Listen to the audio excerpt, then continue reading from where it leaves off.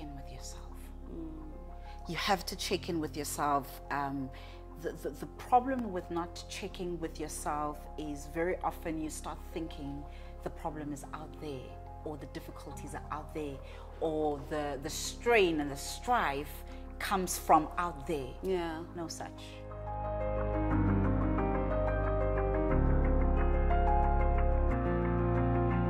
Hello, everyone, and welcome to another episode of Working Smart and Living Well with myself. I am excited to introduce you guys to my guest today, Dr. Mpume Zenda, synonymously known as Dr. Gynae. We actually met for the first time at uh, an Agenda Women event in 2019. I'd heard a lot about you already at the time because uh, my doctor had told me about you. Yeah. And I remember um, the things that stuck out for me when I met you is your enthusiasm and your eagerness. And it feels like such a long time ago now. It feels like a completely different lifestyle, lifetime. And um, I cannot believe what has happened I know, hey? the determination, the focus, the intentionality, and what it has produced. How are you? How do, how how does it feel to be you now versus then? Not very, not very different. I think, I think. Firstly, hi, gorgeous. Thank you look you. absolutely, Thank you. stunning. Thank you. Um, and and and thank you very much for having me. So yeah, 2019, a lot was happening.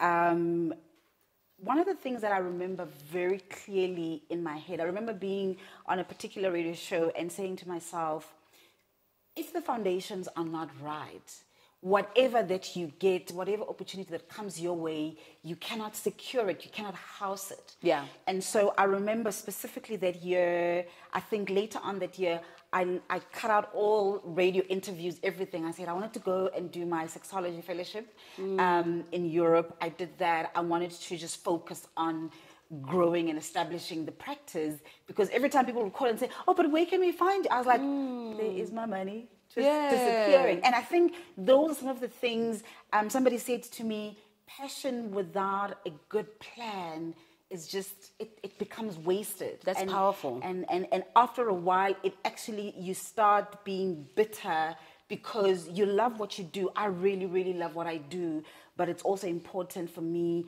to, it was important to put the foundations um, and, and, and also be able to see what I'm doing grow. Otherwise, you're just passionate, passionate, passionate, and you run out of steam. So I, I love that growth as well that allowed me to, as exciting as my life was at that time, sort of like all these new things that are happening, I said, but if it's going to go well, I need to put the roots deep Yeah. and deep. Yeah. Yeah. So, out of everything that you have done from 2019 when I met you till today, what are you most proud of? I must say, funny enough, two things. The one is very academic, and it was going to do the sexology fellowship in Europe. Um, that was a very lonely time. I was studying over December whilst I was working, um, and, and and and and and it was lonely in Europe when I was there studying.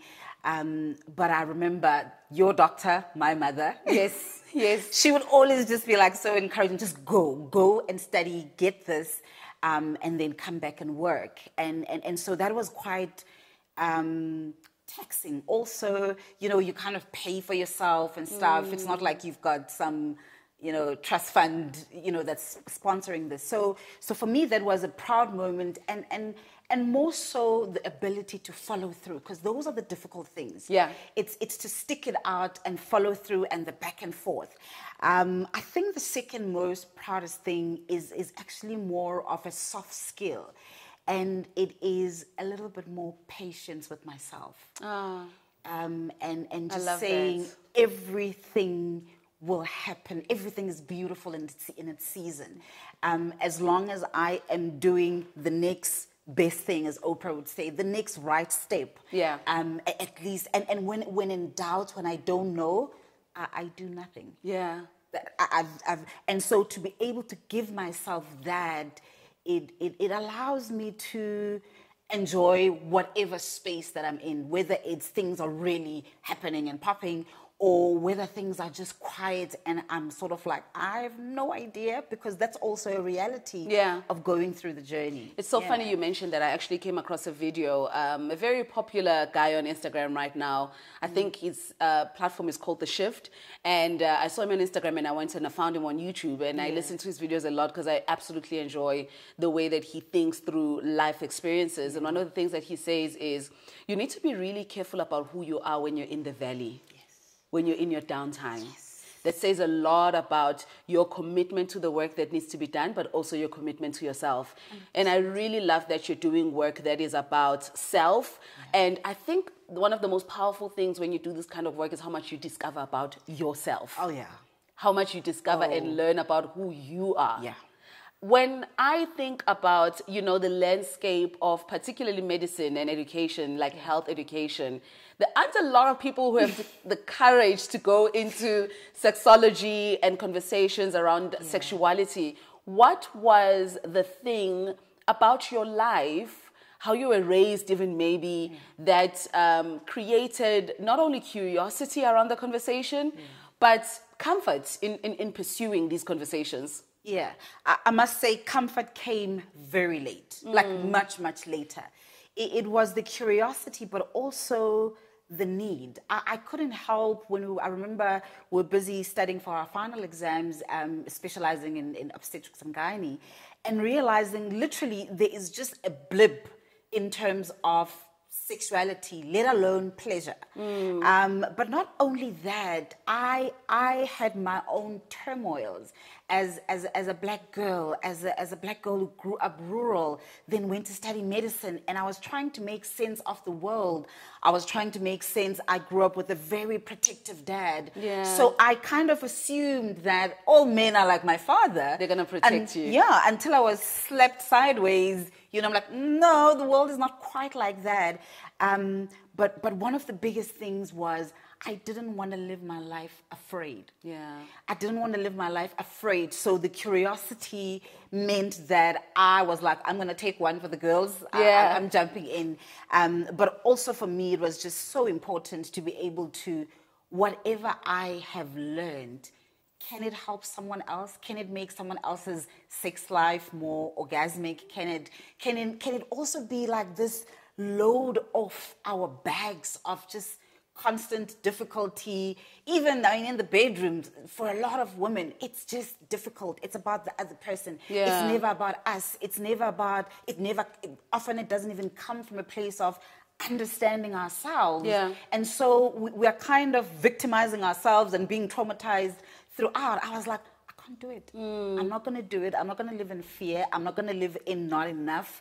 And if if god has given me a beautiful brain god damn let's let's, Let's put use it to it. good use Let's definitely use it. Yeah. I am always thrilled when I meet um, women who are passionate about uh, women, and I'll tell you why. You know, the the name of my business is I don't want to call it a burden, but it's heavy. You know.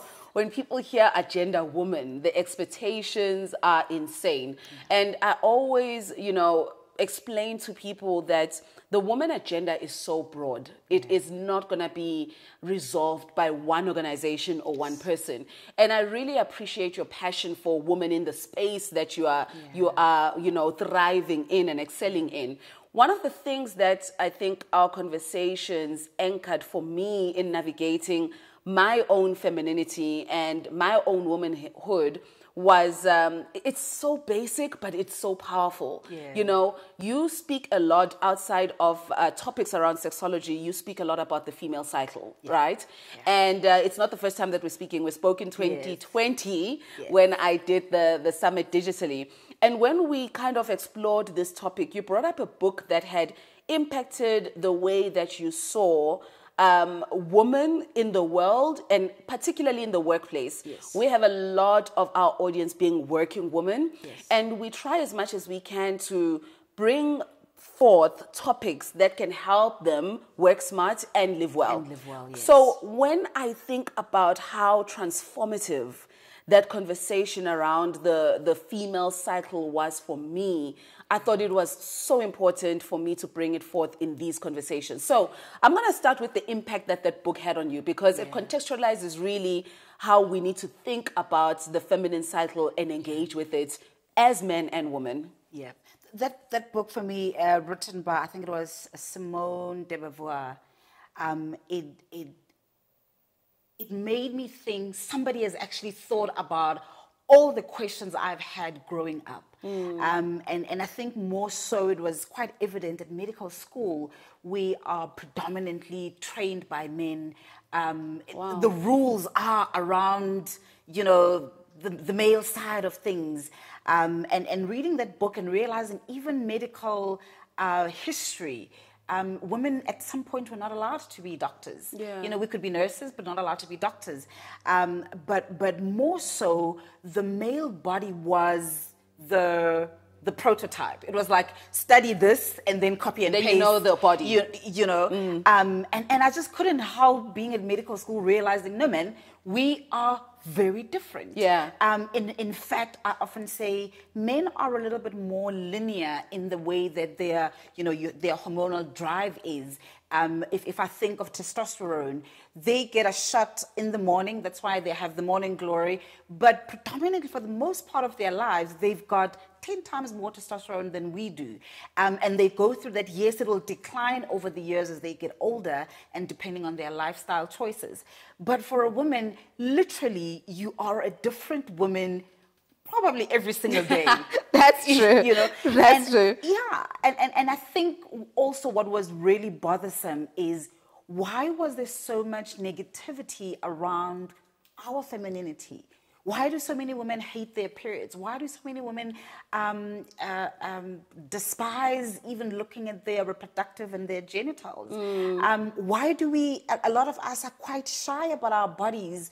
Um, I, I, will even joke and say, until I see a man wearing a bra on his scrotum, leave me alone. Yeah. I'm not, wearing underwear. Leave yeah. Alone, you know? Yeah. Um, but, but we are so uncomfortable with our bodies to a point where you have no idea how many women like will not go to the bathroom. They will hold, you know, their pee throughout the day at the office. They will not eat well.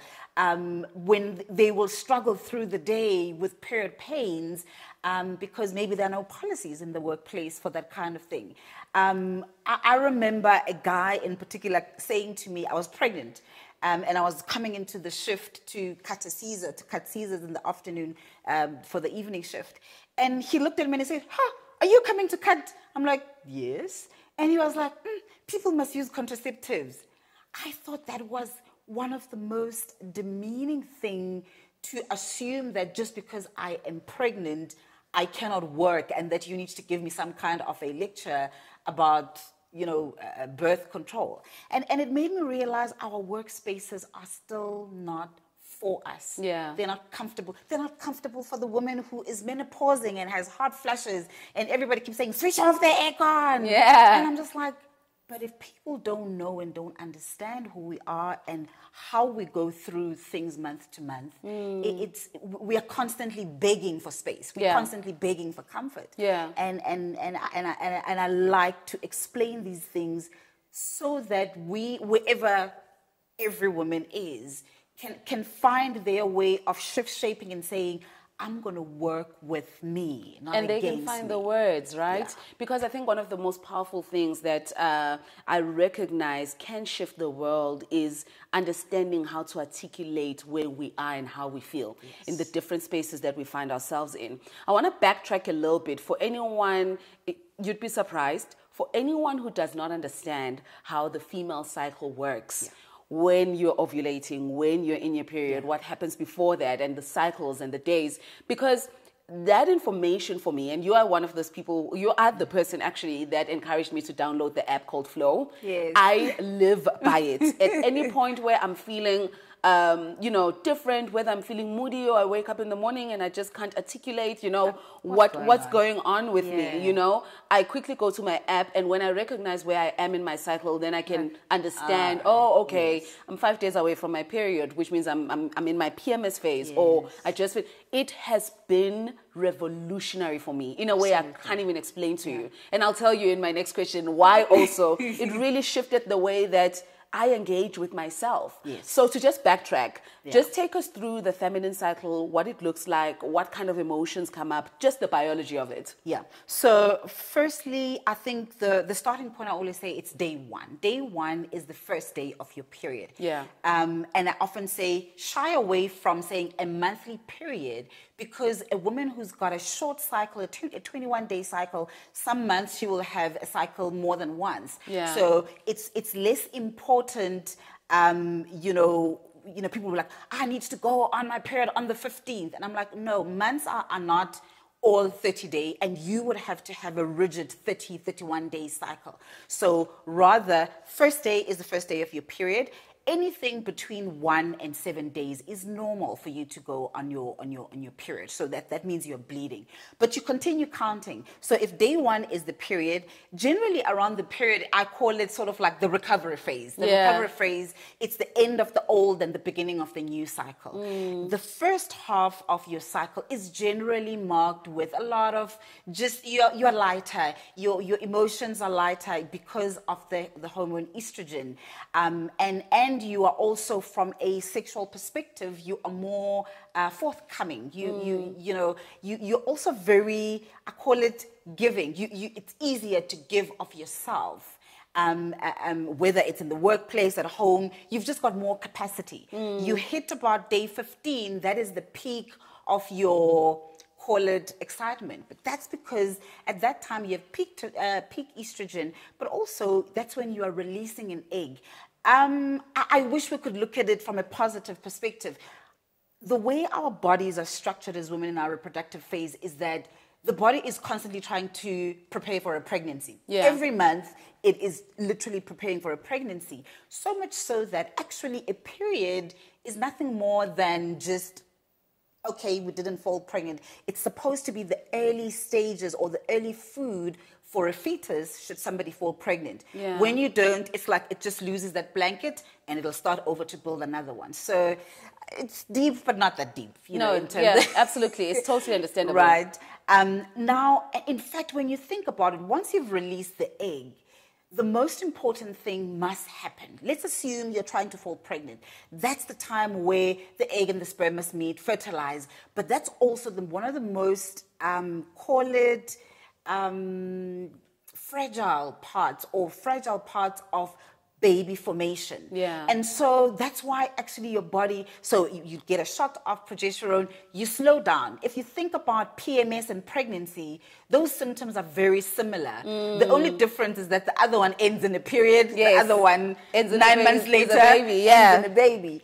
Um, but it, it basically like your body slows you down, so you are more introverted. You are more into yourself. You don't anything that makes you want to be out there. Very often, for a lot of women, it irritates them. Hmm. And and I often say, I wish we would look at it from a good side in that your body is doing something amazing, potentially amazing. But even from a work perspective, that's a good time to reflect on what has been happening in the month and a good time to decide on how you're going to start the next month.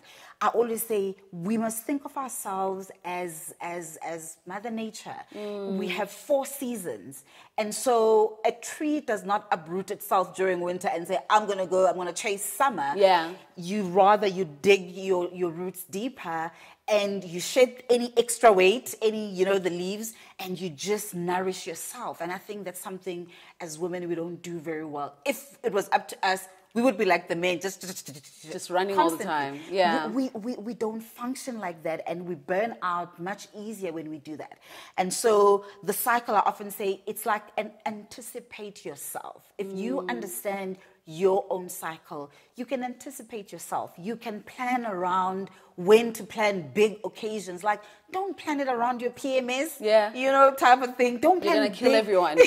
You're gonna kill everyone, exactly. literally. You know, um, but also it, it just allows you to to be kind to yourself. If you're being lazy and it's supposed to be your estrogenic side of things, I mean, there might be other things going on, but you're like, why do I have low energy? Yes. Um, why, why is my why is my mood low? Yeah. Um, I, I call it checking in with yourself. There's nothing that I enjoy more than in the morning. I'm like, how are you feeling today?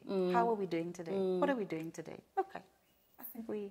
And, and sometimes you have to kind of prep yourself up if you don't feel like it, but there's important things that need to be done because it's not always just, you know, Yeah. that, that, that's simple.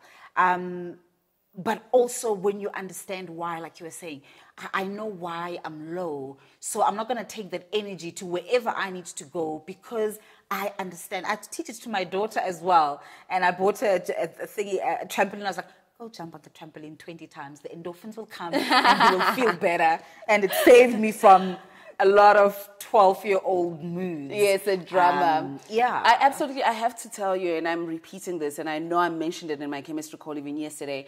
I am a, a astrologically a Cancerian, and one of the big signals for Cancerian is often that we're moody. And I think um, what what those you know terms and languages and and descriptions of, of, of people often leave them in a very negative space, you know, and in a very in, in a way in, in a way where they are less compassionate about themselves. I mean, I know for myself growing up, that was one of the labels that was associated with my astrological positioning. And i- i- in, in, in saying that this has freed me, I cannot um, I cannot deep dive enough into how compassionate I have become in understanding what is happening in my body. And I think the thing about astrology is that, you know, it's so closely connected to how the moon behaves, and how the moon behaves is so closely connected to To our how our cycle. cycle behaves. And more than anything, that has now made me feel even more powerful around how I'm positioned astrologically because I know how much feminine energy runs through me and therefore the power that I can bring into any space because I have no doubts about how powerful feminine energy is. Yeah. And what I want to know from you is in navigating this conversation and having it repeatedly, what have you seen to be the difference in women when they better understand what is happening with them, in how they show up for themselves, how they show up for their families, for their relationships, for work as well? Because I can't imagine how many women come into your practice and they have all these emotions that they can't really place somewhere. When you do explain these concepts, what kind of change do you see in them? Oh, first, it's that aha moment. Yeah. Um, and, and I think I think we all kind of go through it in our heads. Like, am I going crazy? Am I going crazy? Yeah. Um, and, and so when we do go into the conversation, first of all, it's it's it's there's almost like a relief. Oh, okay, I'm normal. Yes. I'm actually okay. Um, I have the saying, you know, at the project, the girls are okay. Yeah. You know, we we in fact probably all of us just want to be okay. Um, and that's the first thing. But secondly, you cannot love what you despise. You cannot you cannot be kind to what you don't understand. Um, and, and, and so the closer we get to understanding ourselves, the more magical we realize we are. But also it allows us to have a kindness for the next person. Yes. For the next woman. I think that is something that we are lacking. And, and I, I'm- not saying we are lacking for a lack of trying. I think just the, the information hasn't, it, it, it, it's coming. It's, it's a ripple effect. Um, I cannot be kind to you if I've never known how to be kind to myself. Um, and it'll just be very pretentious. Uh, and, and so, not only for themselves, but for the people that you live with. Um, there is a beautiful saying, and I think it is in the Bible live with understanding with one another. If I know you're a Cancerian and I'm a Pisces, I know it's going down Yes, during, PMS. yes, yes. during PMS. It's all the water and every, all those movements. We just have to approach it like, okay, how are you feeling today? You know? and it's so funny. My best friend is actually a Pisces. Oh my gosh. No, no, no. I've got a, a bestie who's a, who's a Cancerian. I know during PMS, bring all the things that make her feel comfortable. Yes. And even even not even like a privacy, that's also something that she she she, Yes. she will want. Yes. She wants longer hugs and and and so when you can articulate to your family this is what mom is going through. This is what wifey is going through. This is what bae is going through and, and being able to say, so I teach my, my peoples, um, ask me what I need. Yeah. During those times, what do you need? Yes. Because I need to be able to articulate. There's none of this nonsense that, you know, we must just be like telepathic Mm, and I must just figure out what, what's going on. People actually don't understand each other as much as we often want to give credit to. Yeah. Say and, and, and asking for what you want is one of the most powerful things. I would like a cup of coffee. I would like some silence. I would like to take a walk. I would like a hug. I would like whatever it is. It empowers you, and especially when you have someone who is willing to serve you. Yeah. Um, so for me, being able to serve one another, being able to um, teach our families, teach the men that we, we, we live with as well, because I think it's a it's a it's a crime to honestly believe that men are uninterested, they are trash, and and I have met some of the most beautiful men in my life, Yes. and all they want is just to understand, Yes. just say it out loud, and Yes. they want it in plain. You know, language. Just English. Just Yeah. tell me in plain English. You know, what do you need me to do? What do you need me to yeah, do? Yeah, yeah. that's true. I have to say, I've also been quite fortunate in, um, you know, encountering and having those experiences with uh, men who are really willing to to listen and better understand how they can also engage with the world. Do you think the workplace is ready for this conversation? Yes. Okay. Tell. I I think I think it is not just time, but we I look at someone like you and I. One of the things that people um, may take for granted is the amount of internal work that has to happen.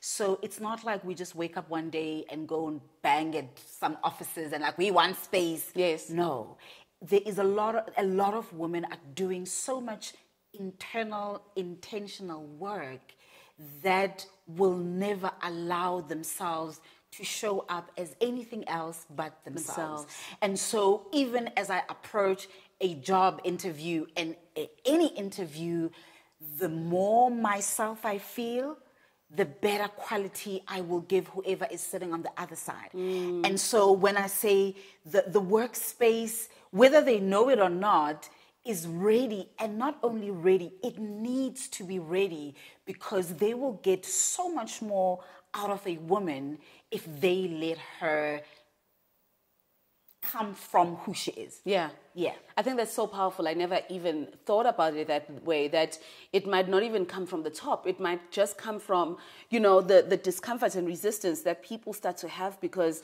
they have such a deep knowledge and understanding of themselves that they are unable really to exist in spaces that don't meet them where they are. a lot of women will walk if a job prescription does not because here's the thing as well i think we're also moving away from this thing of uh, we must just work work work me no i want to work hard be diligent with excellence but i also want to recover and holiday with excellence I love that. you know I love um, that. and, and and so all these things are important to me. My career is important, but my daughter is important. Yes. But my relationship is important. Yes. But my sacred space with myself is important. My playtime is important. My gym is important. Mm. And I, was like, yes, I want it, and I want it all. Mm. Yes. Right. Yes. And and I'm willing to put in the work to give myself at least over time everything that I believe makes me happy. I mm. think the big word, even from our conference, we had a sexual health conference. The big buzz is no longer this hustle, do this, Yes. climb on this, do that. It's Club 5 a.m. or 5 a.m. club or whatever. I always say, you know, and, and, and the reason that this podcast is called Working Smart and Living Well is because I think the ideal life is finding harmony between these two places. Because for someone like me, I thrive in my excellence. You know, I, I'm fulfilled by my work. I love showing up and showing up, showing up in a beautiful way and boldly. But I equally like my isolation. You know, I love my Sundays. I love, I, I literally have made this, a decision to not engage with anyone on Sundays Yeah. unless I really, really, really want to engage with you Yeah. and I believe you can point to me. Yeah. My Sundays are sacred and they're off limits. Yeah. You can't call me into a meeting on Sunday. You can't make me do anything, You can't make do anything. on a Sunday because I've chosen that day as my time to recover Yeah. To think through what I want um, the, the week to look like, to reflect on the past week. Because if you don't intentionally make those decisions, the world will continue to ask of you. Yes, con- and it, will it will be your children, it will be your employees, it will be your work, it will be your partner. If you're not intentional, you will never ever stop. Yeah. And it takes a lot of vulnerability to to do that. You know, I have to sometimes walk into the office and say, Annette, I'm not okay today. Um, I know so and so is urgent. I will see them, but please uh, book off the rest of the of the of the day. It- it's it's also that thing of what do you treasure? Because you do get people who will mill through whatever, whether physical, emotional discomfort, um, maybe for financial gain. Yes. Me, you can't pay me enough to. I to say that as well. I I'm always say like, that. I'm happy to have just enough. Yes. You know. Yes. And live well. To live my ideal life. Yeah. I don't need all the money in the world. I just need the money that is going to accommodate my basic needs. Often it is the basic needs, and then everything else is wealth and it's an extra. Yeah. But with just enough, you can live a beautiful Yeah. life. What is the one ritual you would advise every woman to cultivate in order to live their best life within this feminine energy? check in with yourself. You have to check in with yourself. Um, the, the, the problem with not checking with yourself is very often you start thinking the problem is out there, or the difficulties are out there, or the, the strain and the strife comes from out there. Yeah. No such. Everything is it starts within you know um, and and and so not only you know i say check in because you can be self-aware but sometimes you are self-aware but you're not accountable. Yes. you know so you when i say check in you have to ask how am i doing? And how am i okay i'm feeling this way. How am i going to approach what is ahead of me. Yeah. um, how do i approach so and so with that issue that we're dealing with? Um, and and and once you've solved for self oh man it's it's not that life is easy but but but you go through it lighter Yeah. I, I find that I go through it lighter, and and one of my favorite things is to check in whilst I'm at because um, I, I quickly learned that doing some kind of movement exercise in the morning works for me. Yeah. I, I'm generally not a morning person, but if I get it right, um, I, I can do so much more in the morning, and and I always say I can buy myself an afternoon off. Yeah, you know. yeah. Um, so check check in with yourself. Check in deep and wide Yeah. with yourself. Whether it's work issues, whether it's family issues, whether it's your internal. A lot of us don't even ask ourselves, where am I in my journey? Hmm. Where, where am I in my journey? And to recognize the season you are in so that you are not distracted by everyone else's season. I absolutely, absolutely love everything that you just said. But I want to know how do you work smart? probably the most unorthodox answer I love. I love my work. Um, I love what I do. I, I love my clients. I, uh, a friend of mine said to me, The problem with you is you yourself, both at work and. Yes, you are everywhere. you're same everywhere. You show up as as, as Mpume. and and it makes it easy that for me that is smart because that is my strength um, and and when i operate from my strength it makes the hard days better because some days are difficult the hours are long um, sometimes i really want to just be with my daughter and and so to to love what i do um, to love myself um, is is how i I work smart. I, I have to constantly be accountable in being organized and planning. That's not my strength. Yeah. And so I always have to surround myself with people who are better at that for me. Um, but also, just like every now and again, girl, you need to get that paperwork sorted and Yeah. stuff. Um, uh, um, but my my absolute strength is I love. Yeah. I really really love what I do, and and once I walk into that office, it's just like okay. I feel it every time I see your videos at the office, even when I uh, did that video call with you. Just the, the energy and, and how you've also curated the space Yeah. is such a demonstration of your love for everything I think that you do and touch. And my final question to you is how do you live well? The, probably the biggest thing I've had to learn that has allowed me to live well is to speak up. Yeah. Speak up about, speak up in terms of who I am, in terms of what I would like. Um, you know, the, there's something about, you know, the truth doesn't always have to be, in fact, it never has to be brutal. Yeah. The, the truth should always be gracious. Um, and one of the truths I had to embrace for myself is you need to grow that spine a little bit tougher to stand up so that you can show forth as as truly you Yeah. not not a a washed down version because you're trying to please someone else or um, because you're feeling sorry or you feel i needed to be honest with myself and say speak up. Yeah. show show show up and show out and what's the worst that can happen? And it's been the most beautiful thing.